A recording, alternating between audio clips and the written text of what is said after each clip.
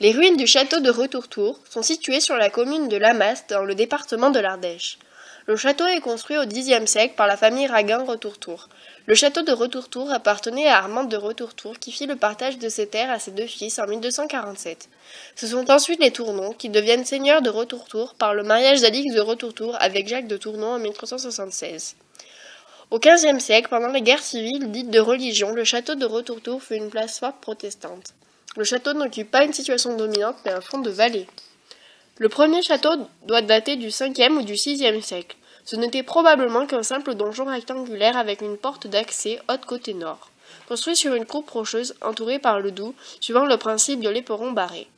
Ce fossé artificiel creusé dans le rocher le protégeait au sud côté montagne.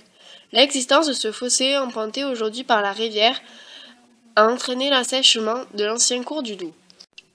Les bâtiments ont été peu à peu construits autour du donjon qui a dû être, lui-même, partiellement repris comme le montrent les trois belles fenêtres de la partie habitation du haut de la façade sud. Les différents vestiges du château.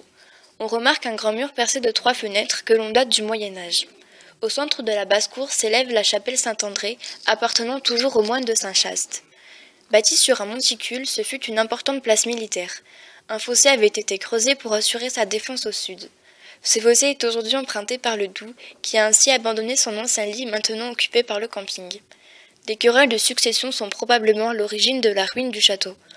On raconte qu'au début du XVIIe siècle vivait encore un petit brigand qui rançonnait les environs.